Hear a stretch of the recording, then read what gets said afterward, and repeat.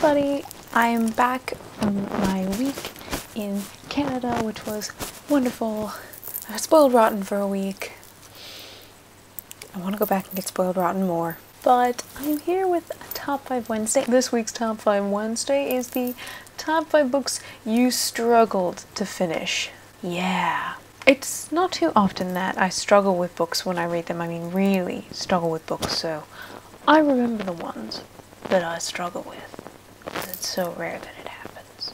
Number five on this list is the first book I ever recall really struggling with, and that is A Connecticut Yankee in King Arthur's Court by Mark Twain. A lot of people in schools here in the States will read um, Tom Sawyer or Huck Finn, usually Huck Finn, I think, more than Tom Sawyer. But Connecticut Yankee is one that Twain wrote about a man who is obviously from Connecticut. He's a Yankee, and he somehow manages to time travel to King Arthur's court and sets himself up as like a sorcerer, prophet, blah blah blah.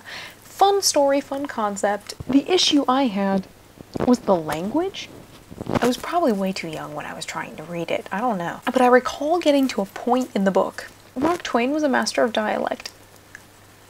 And he decided to have this woman approach our protagonist and just rattle off in some weird, like, old Middle English style dialect, and I was lost. I was like,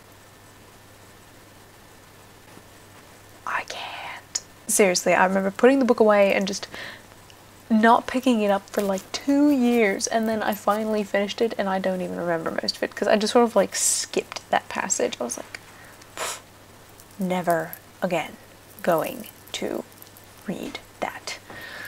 I, I'm sure if I were to read it now, I'd love it or what have you, but I'm just so tainted by the memory of struggling with that passage. Never again. Never again. Number four on this list is The Things They Carried by Tim O'Brien. I read this book for school in my final year of high school. It was part of my AP English Literature course, and I hated this book. I really did. I disliked this book intensely, and I understand it's considered a classic. I hated it so much. I remember um, struggling to read it. The attitude of Tim O'Brien was so condescending when I read it that I was just like, really? And I think a lot of it was also I read it and I'm going, this feels like apocalypse now. Did Francis Ford Coppola call you and demand like you re re remuneration? I don't know. I remember struggling to finish it, and then when I got to the end, uh, the last like few paragraphs made me so angry that I threw the book.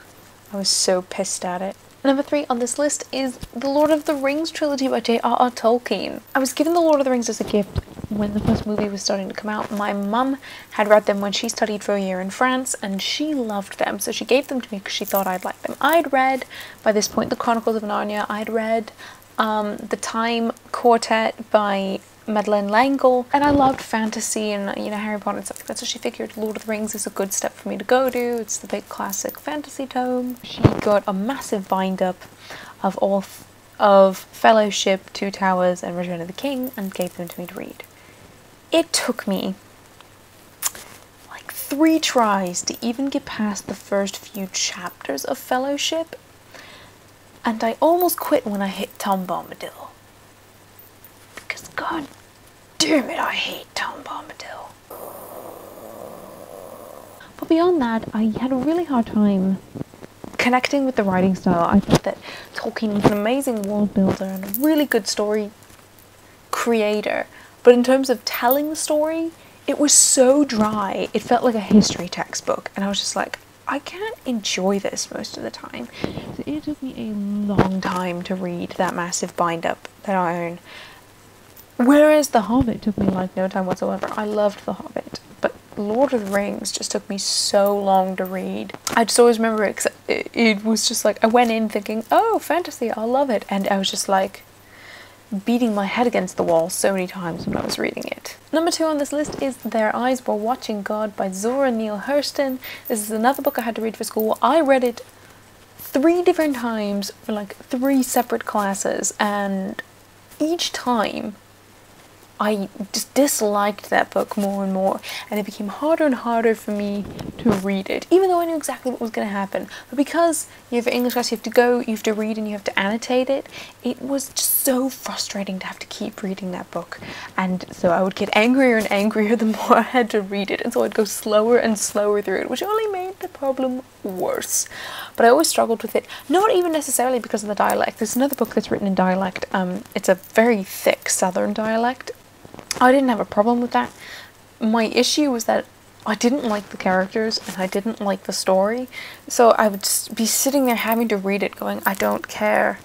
I don't care. I really, really don't care. And that always makes reading difficult, and so I'll end up struggling with a book if I don't care about it. And finally, the number one book that I have struggled to finish. I had to read this my final year at high school for again AP English Lit, and this book I had in a mass market version, which are those small, tiny little paperbacks, and it was like you know thick, something like 800 page, 800 something pages, tiny print, those like paper thin pages, and that is The Fountainhead by Ayn Rand. This book was torturous. On average, a 7 to 800 page book will take me between 7 to 8 hours. This took me a week and a bit to read.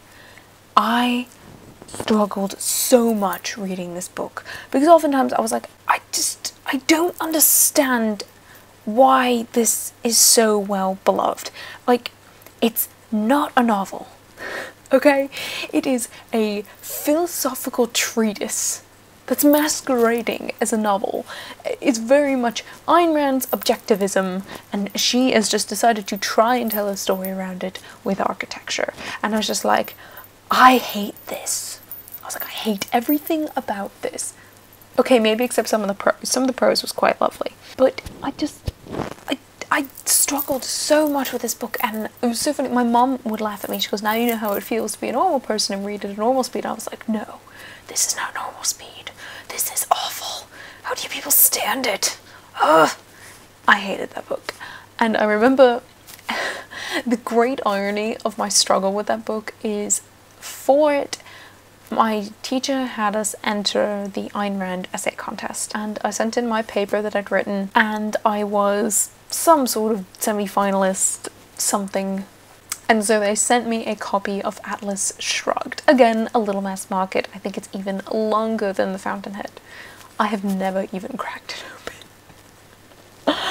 oh my god, if I haven't thrown that out yet, I don't even know what I'm doing. Um, it's, I, yeah, I think it's in a box in my closet somewhere. I never even cracked it open because I struggled so much with the Fountainhead and I took zero enjoyment out of it that I have beyond zero interest in reading Atlas Shrugged. I don't care who John Galt is, I don't think I ever will. But yeah, that's all for me, so until next time, cheers.